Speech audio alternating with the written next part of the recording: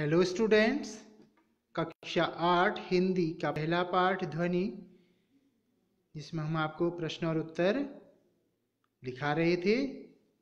और अब हम आगे के प्रश्नोत्तर आपको लिखाने जा रहे हैं। भाषा की बात का पहला प्रश्न। भाषा की बात।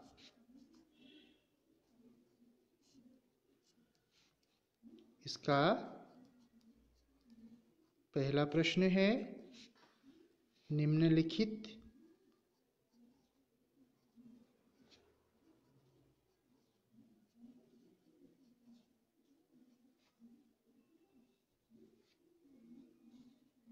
निम्नलिखित पुनरावृत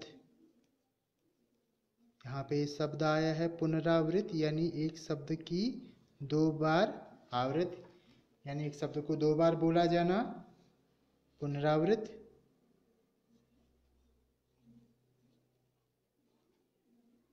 शब्दों,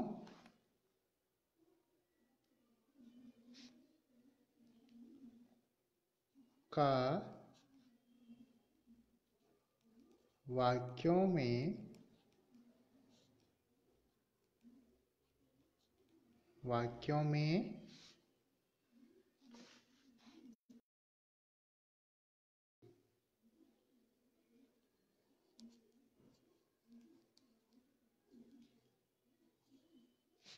प्रयोग।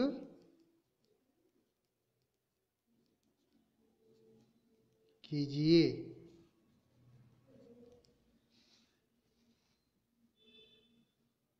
और ये शब्द हैं बातों बातों में। बातों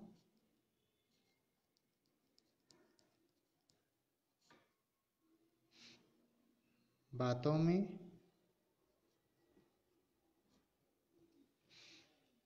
रह रह कर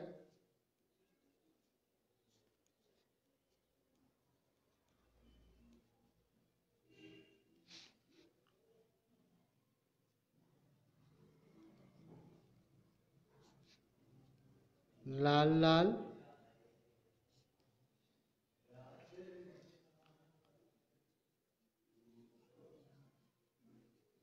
सुबह सुबह।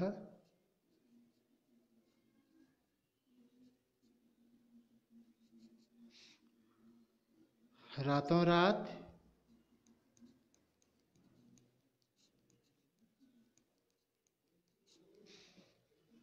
और घड़ी घड़ी।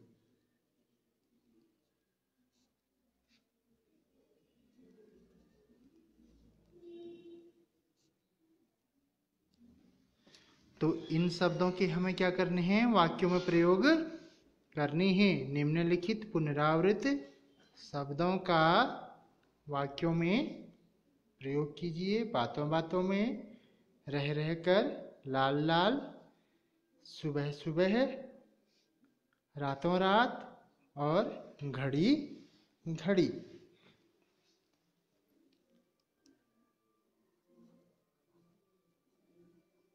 इसका उत्तर है तो पहला है हमारा बातों बातों में। बातों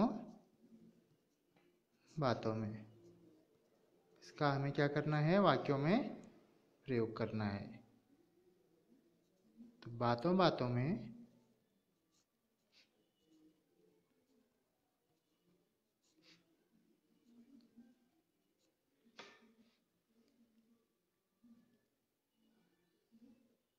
वह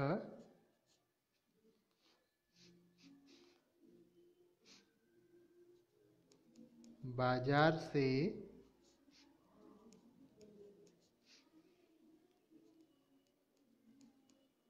ज़रूरी सामान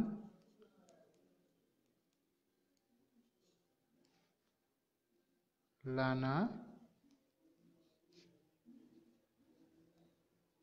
भूल गया। तो बातों बातों से जो वाक्य प्रयोग बना, बातों बातों में वह बाज़ार से ज़रूरी सामान लाना भूल गया। अगला है,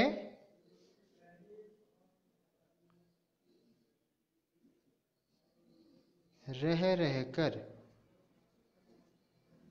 रह रह कर। इसका वाक्य प्रयोग होगा? कल रात से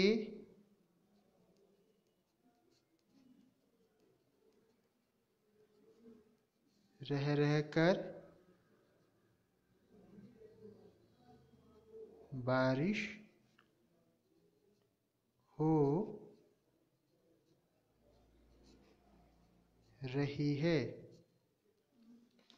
कल रात से रह रहकर बारिश हो रही है। अगला है,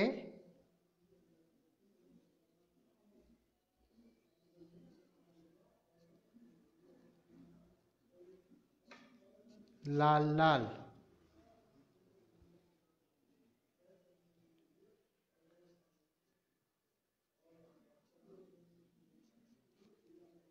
सूर्य की किरणें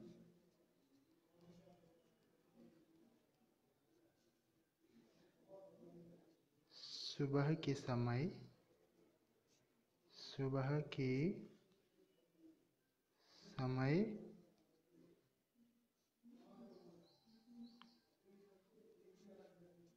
लाल लाल प्रतीत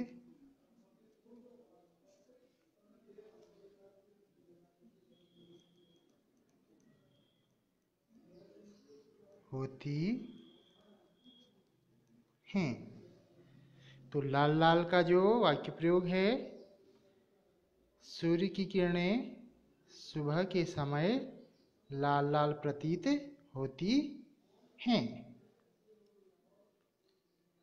अगला है सुबह सुबह।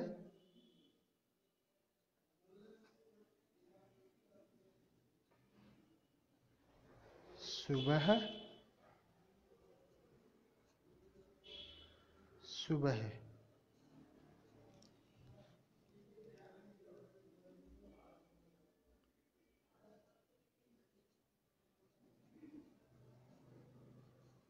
दादाजी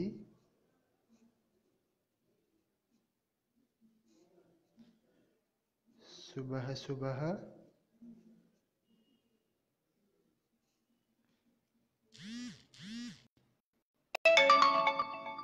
सैर पर निकलते हैं।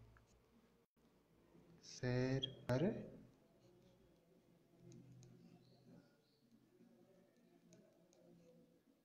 निकलते हैं। सुबह सुबह का वाक्य प्रयोग है, दादाजी सुबह सुबह सैर पर निकलते हैं। अगला है रातों रात।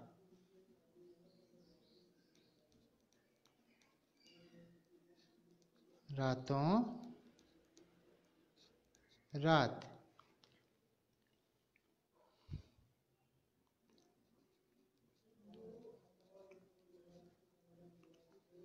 ईश्वर की कृपा से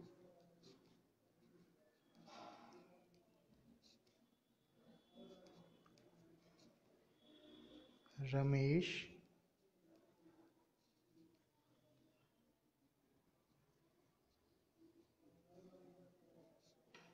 रातों रात अमीर बन गया अमीर बन गया रातों रात का जो वाक्य प्रयोग है ईश्वर की कृपा से रमेश रातों रात अमीर बन गया। अगला है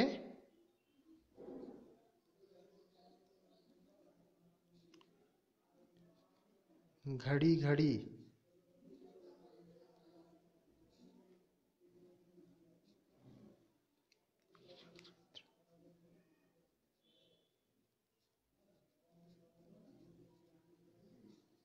शिक्षक द्वारा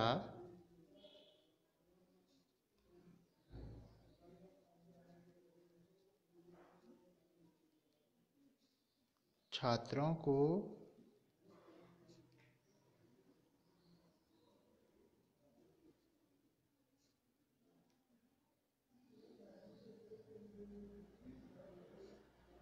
घड़ी घड़ी पढ़ाई में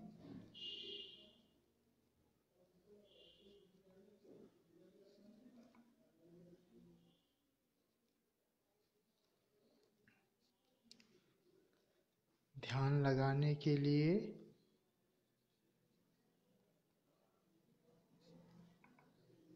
पढ़ाई में ध्यान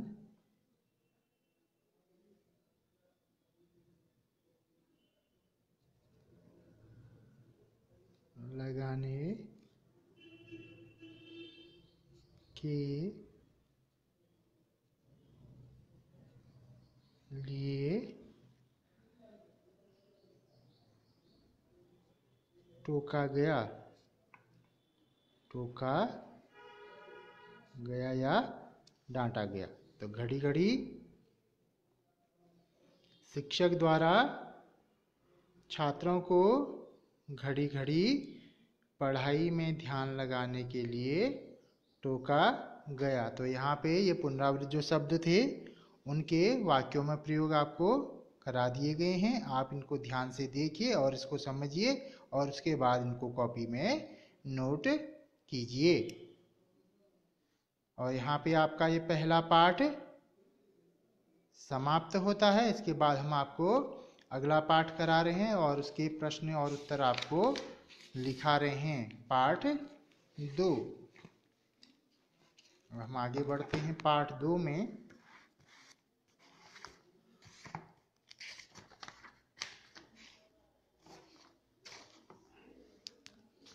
लाख की चूड़ियाँ।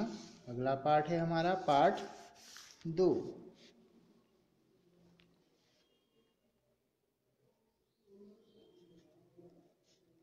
पार्ट दो। लाख की चूड़ियाँ। लाख की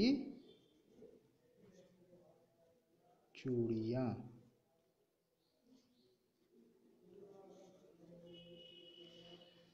पार्ट दो, इसके प्रश्न और उत्तर आपको कॉपी में करा रहे हैं।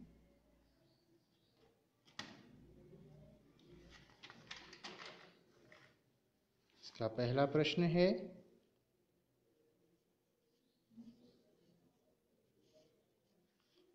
बचपन में लेखक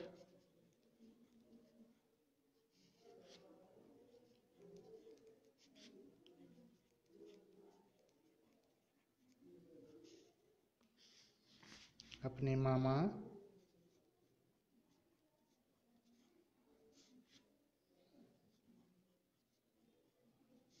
मामा के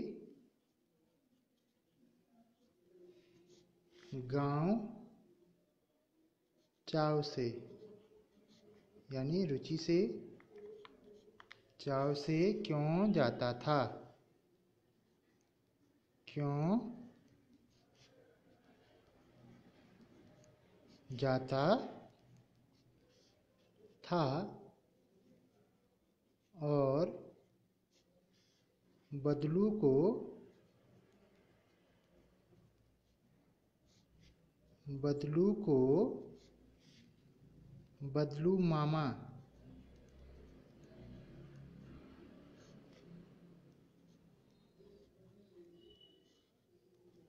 बदलू मामा न कहकर न कहकर बदलू काका। बदलू काका। क्यों?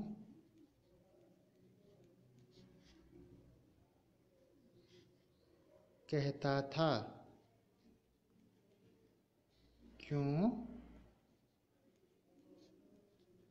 कहता था। तो हमारा पहला प्रश्न है बचपन में लेखक अपने मामा के गाँव चाव से क्यों जाता था और बदलू को, बदलू मामा न कहकर बदलू काका क्यों कहता था? ध्यान से आप प्रश्न को देखिए और उसको कॉपी में नोट कीजिए।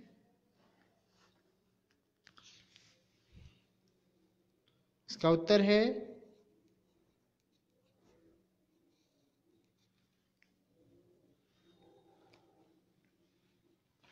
बचपन में लेखक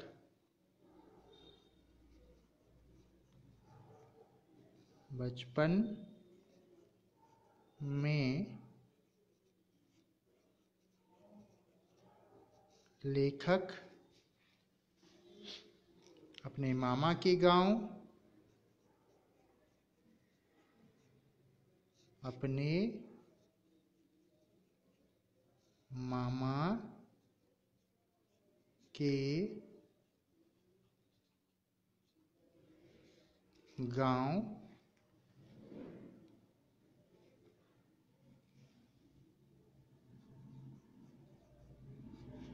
चाव से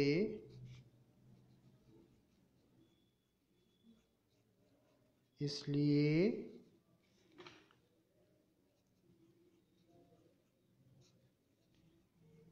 जाता था क्योंकि लेखक क्योंकि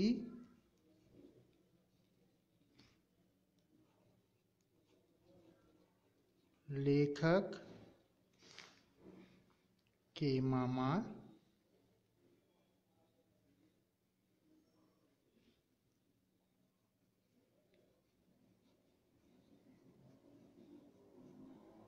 लेखक के मामा।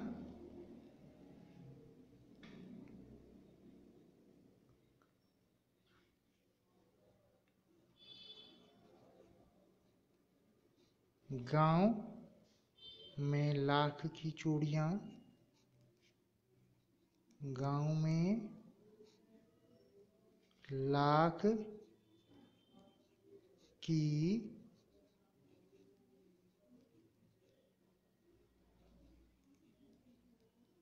चूड़ियाँ बनाने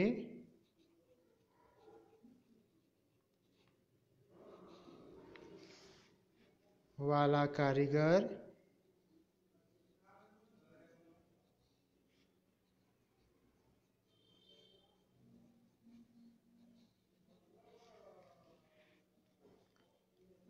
बदलू रहता था। बदलू रहता था। लेखक को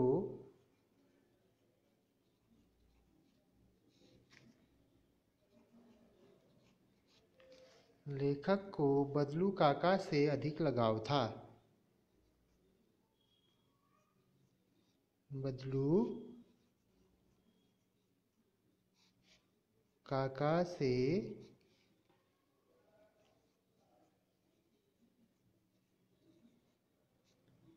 अधिक लगाव था। वह लेखक को, वो बच्चा जो है इस कहानी का लेखक भी है।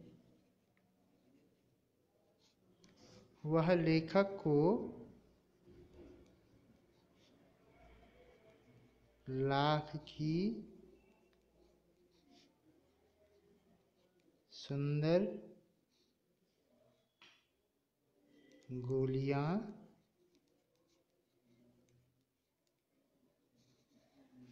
बनाकर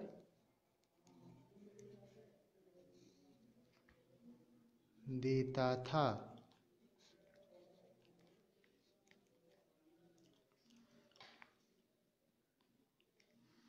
गाँव के सभी लोग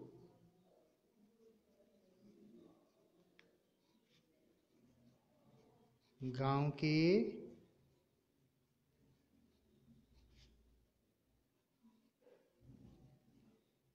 सभी लोग बदलू को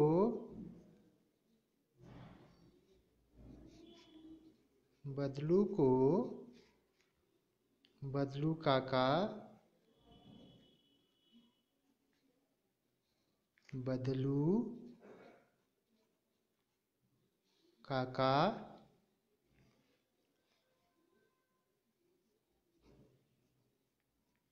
बुलाते थे।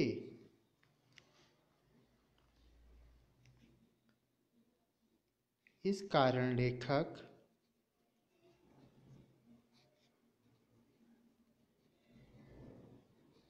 इस कारण लेखक भी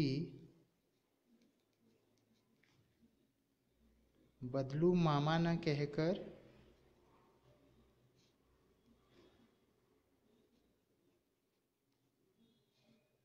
बदलू मामा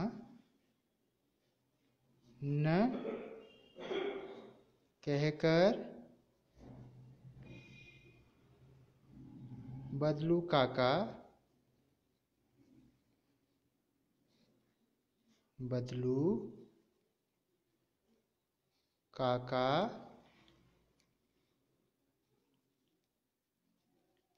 कहता था। तो यहाँ पे इसका उत्तर फिर से हम समझ लेते हैं। बचपन में लेखक अपने मामा के गाँव चाव से इसलिए जाता था क्योंकि लेखक के मामा गाँव में लाख की चूड़ियाँ बनाने वाला कारीगर बदलू रहता था। लेखक को बदलू काका से अधिक लगाव था। वह लेखक को लाख की सुंदर गोलियाँ बनाकर देता था। गाँव के सभी लोग बदलू को बदलू काका कहकर बदलू काका बुलाते थे। इस कारण लेखक भी बदलू मामा न कहकर, बदलू काका कहता था। तो ध्यान से इसके उत्तर को देखिए और उसको कॉपी में नोट करेंगे। इसके बाद हमारा अगला प्रश्न है।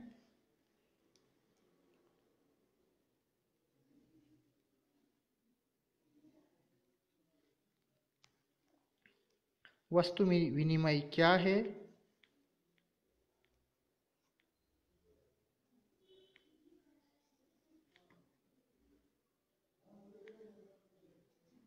वस्तु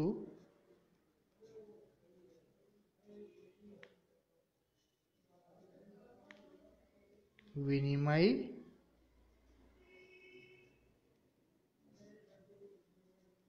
क्या है?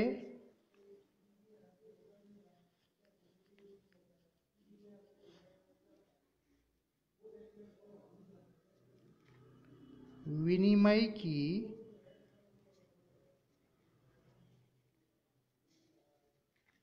विनिमय की प्रचलित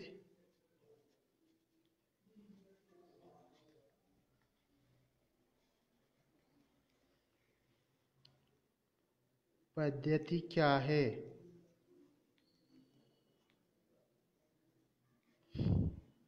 पद्धति क्या है? तो यहाँ पे वस्तु विनिमय क्या है? यहाँ पे अर्थशास्त्र इकोनॉमिक्स में बताया जाता है वस्तु विनिमय क्या है? विनिमय की प्रचलित पद्धति क्या है? अब हम इसका उत्तर आपको लिखाएँगे कि वस्तु विनिमय क्या है।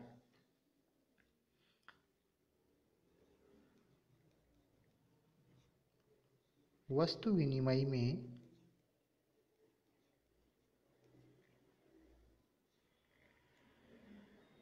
वस्तु विनिमय में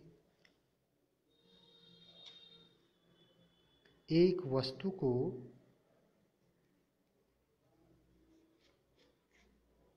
एक वस्तु को दूसरी वस्तु दूसरी वस्तु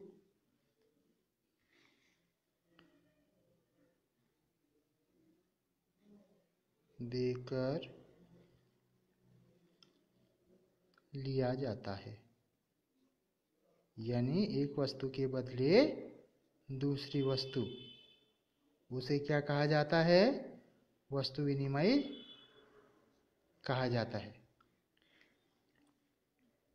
वस्तु के लिए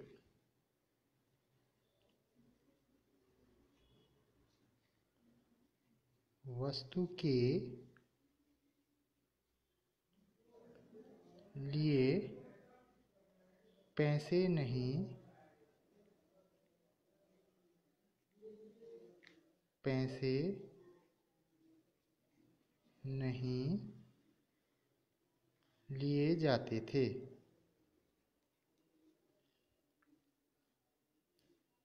लिए जाते हैं। उसमें क्या होता है? वस्तु के लिए पैसे नहीं लिए जाते हैं। अगर हमें किसी वस्तु को किसी को देना है, वो भी उसके बदले कोई वस्तु हमें लौटाएगा। इसे क्या कहते हैं? वस्तु विनिमय कहते हैं।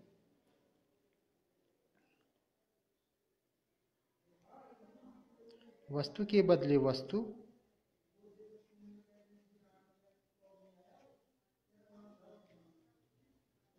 वस्तु के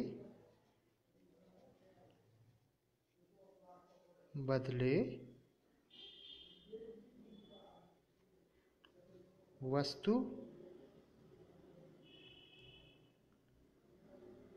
ली और दी जाती है। ली और दी जाती है।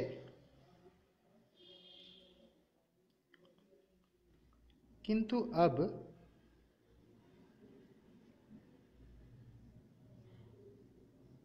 यहाँ पे क्या होता था ना, पहले समय में लोगों के पास जो चीज़ अगर नहीं होती थी तो उसके बदले पैसे नहीं लिए जाते थे। जैसे किसी वस्तु को अगर मान लिया अनाज के बदले कोई दूसरी चीज़। मान लिया आपको अगर अनाज की ज़रूरत है, आप उसको क्या करेंगे?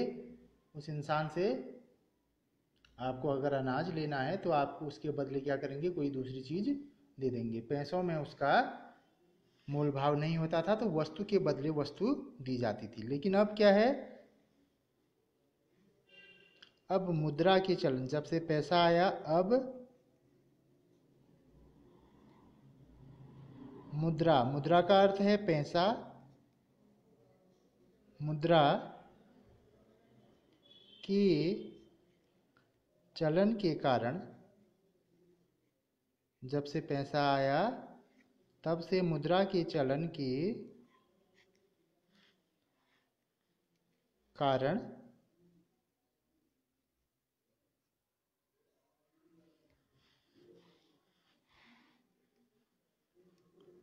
वर्तमान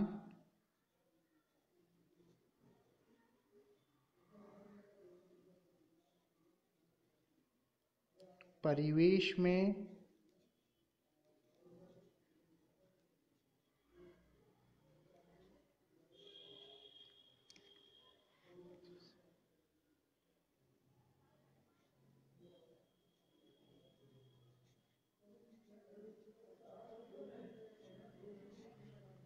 वस्तु का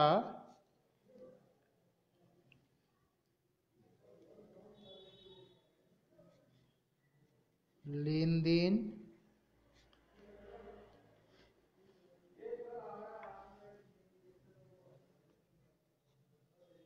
मुद्रा के द्वारा मुद्रा के द्वारा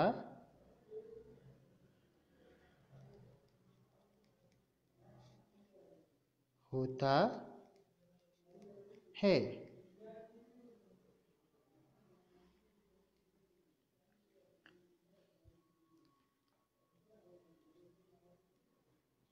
विनिमय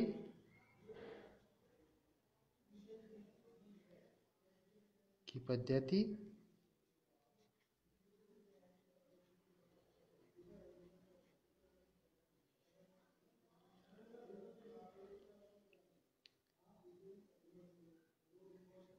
पैसा है। पैसा है। लेकिन आज के समय में जो विनिमय विनिमय की पद्धति है, वो क्या है? पैसा है। आजकल जो लेन देन है, उसके क्या है, वो पद्धति हमारी पैसे से होती। पहले क्या होता था? लोगों के पास पैसा नहीं होता था तो लोग क्या करते थे? एक चीज़ के बदले दूसरी चीज़ दे देते थे। लेकिन आज वर्तमान समय में जब से मुद्रा का प्रचलन हुआ, तब से अब क्या होता है? लेन देन जो होता है, पैसों के माध्यम से होता है। तो इसको हम फिर से यहाँ पे समझ लेते हैं। वस्तु विनिमय क्या है? विनिमय की प्रचलित पद्धति क्या है? वस्तु विनिमय में एक वस्तु को दूसरी वस्तु देकर लिया जाता है। वस्तु के लिए पैसे नहीं लिए जाते हैं। वस्तु के बदले वस्तु ली और दी जाती है। किंतु अब मुद्रा के चलन के कारण वर्तमान परिवेश में वस्तु का लेन देन मुद्रा के द्वारा होता है। विनिमय की पद्धति क्या है? पैसा है। तो आप इन प्रश्नों को ध्यान से देखिए और उनके उत्तर कॉपी में नोट कीजिए। उसके बाद अगला प्रश्न है।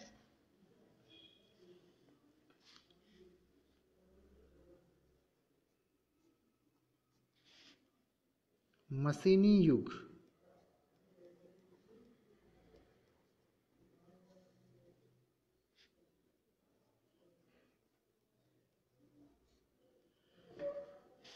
मशीनी युग ने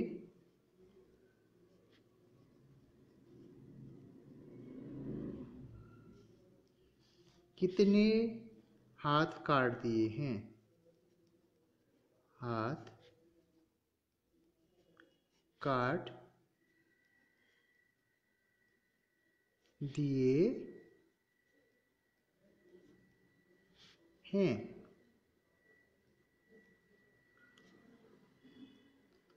काट दिए हैं। इस पंक्ति में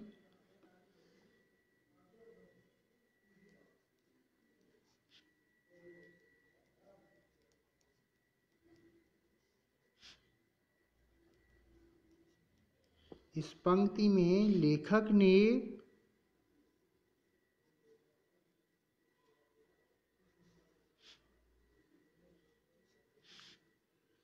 किस व्यथा की ओर किस? व्यथा की ओर।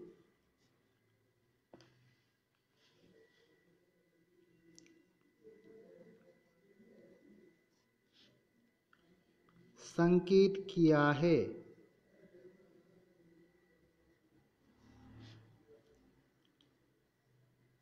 संकेत किया है।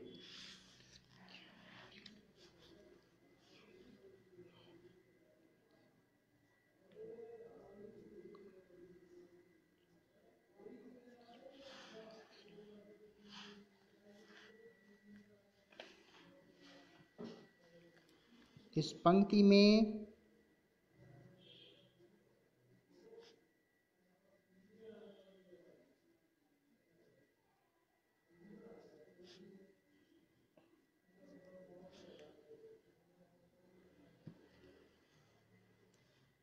लेखक ने कारीगरों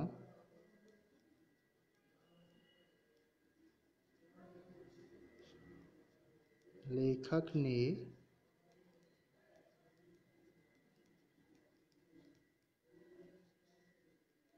कारीगरों की व्यथा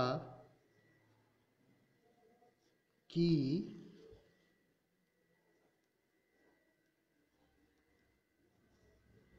व्यथा की ओर संकेत किया है। व्यथा की ओर।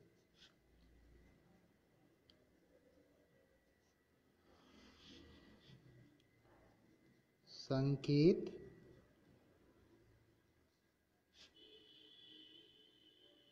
किया है कि किया है कि मशीनों के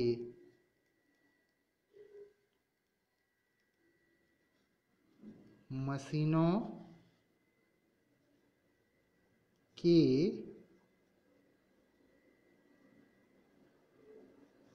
आगमन से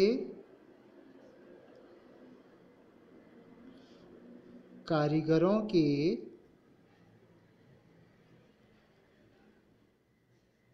कारीगरों के हाथ का काम, कारीगरों के हाथ का काम, हाथ का काम, छिन गया है। छिन गया है। यानी जब से मशीन आई, तब से क्या हुआ? कारीगरों के हाथ का जो काम है, वह उनसे छिन गया है, समाप्त हो गया है।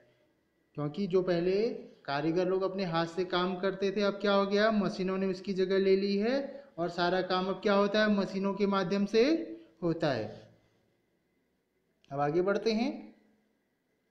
मानो उनके हाथ कट गए हों। मशीनों के आने से मानो ऐसा प्रतीत हो रहा है उनके हाथ कट गए हों। मानो उनके हाथ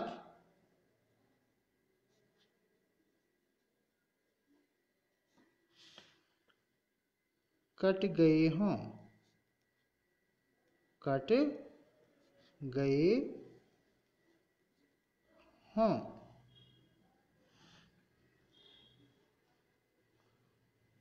उन कारीगरों का रोज़गार उन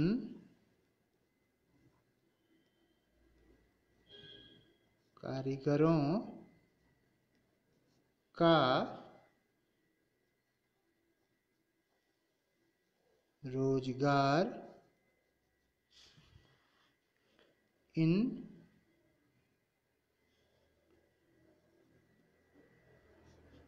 पैतृक पुरखों के समय से पैतृक काम धंधों से ही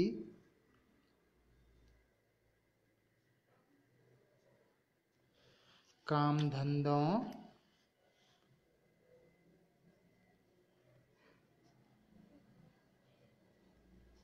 से ही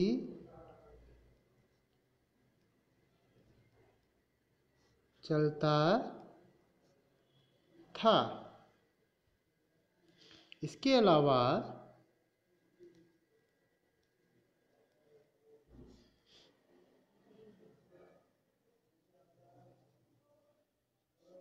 इसके अलावा उन्होंने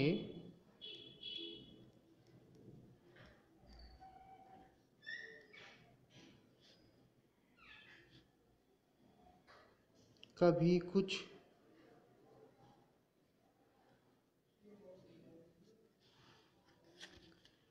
कुछ सीखा भी कभी, कुछ सीखा भी नहीं था। सीखा भी नहीं था। परंतु मशीनी युग ने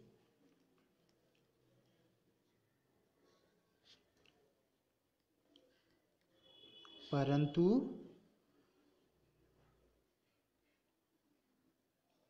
मशीनी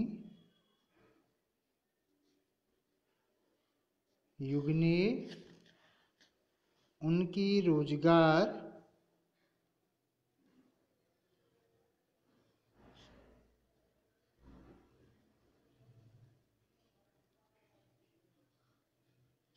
उनकी रोज़गार को छीन लिया। छीन लिया और उन्हें और उन्हें बेरोजगार बना दिया।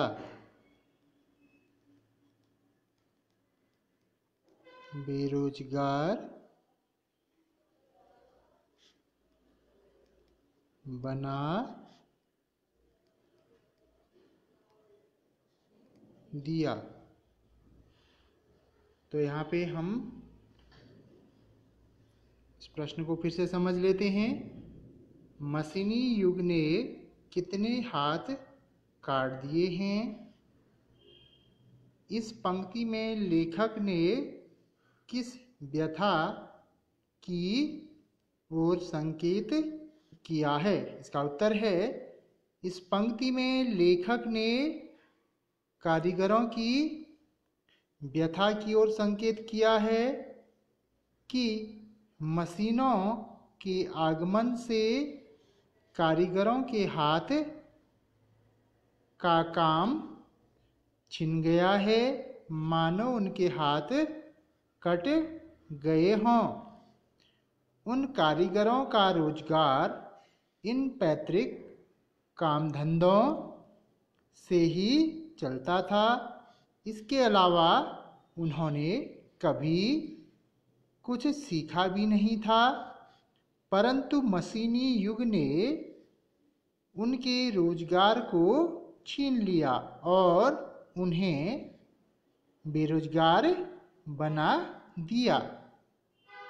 यहाँ पे इस प्रश्न का उत्तर आपको लिखाया है, आपको प्रश्न और उसके उत्तर को कॉपी में नोट करना है। उसके बाद अगला प्रश्न है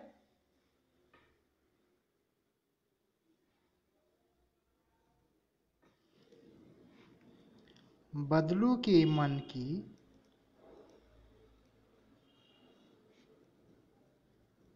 बदलू के मन में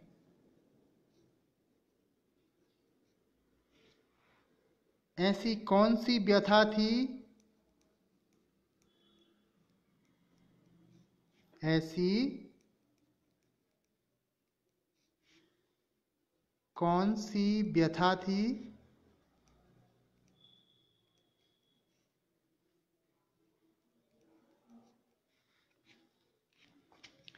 जो लेखक से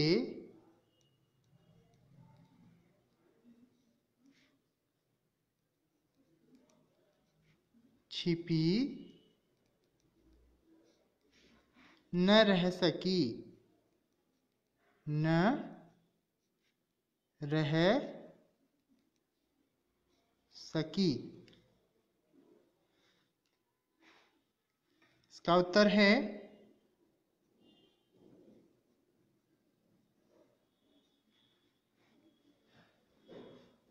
बदलू लाख की चूड़ियाँ बेचा करता था। बदलू लाख की चूड़ियाँ बेचा करता था।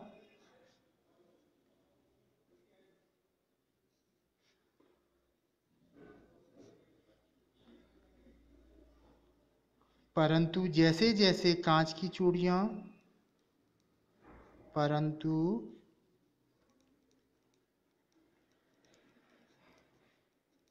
जैसे जैसे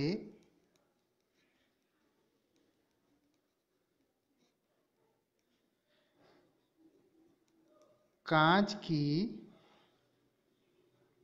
चूड़ियों का प्रचलन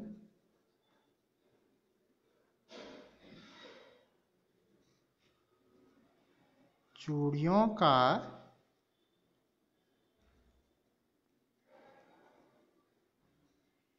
प्रचलन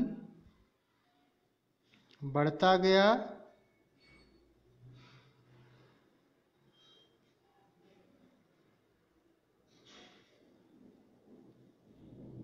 उसका व्यवसाय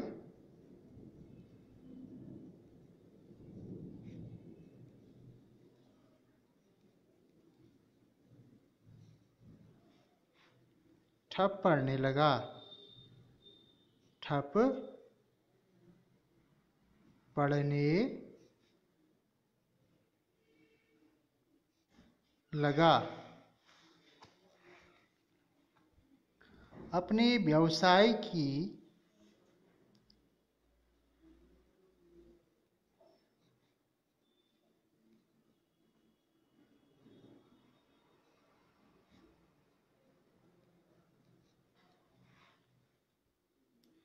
यह दुर्दशा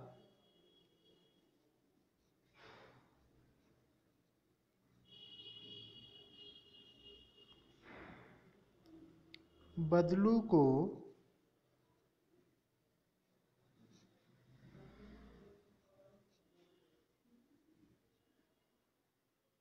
मन ही मन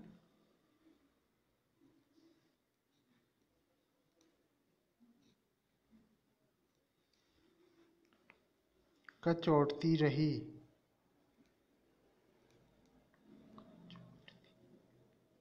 कचोटती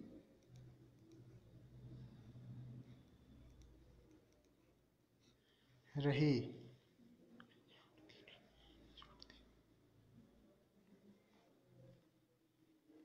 बदलू के मन में यह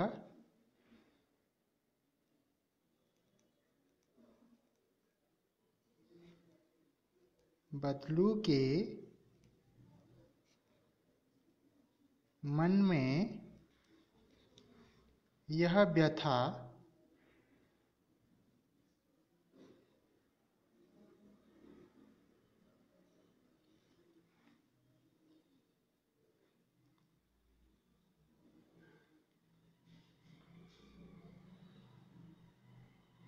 कि मशीनी युग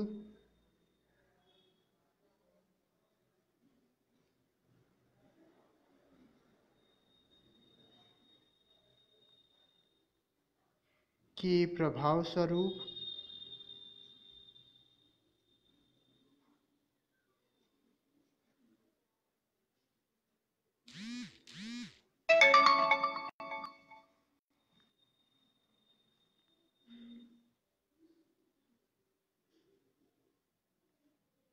उस जैसे अनेक कारीगरों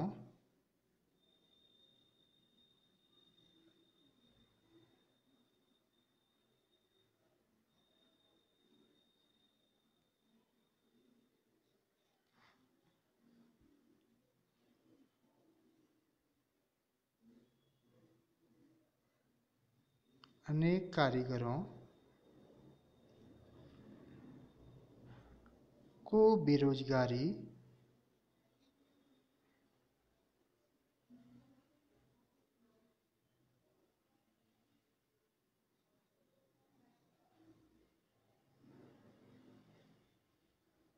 और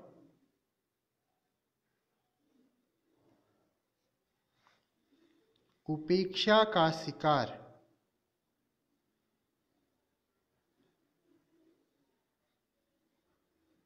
उपेक्षा का शिकार होना पड़ा है। होना पड़ा है। यह व्यथा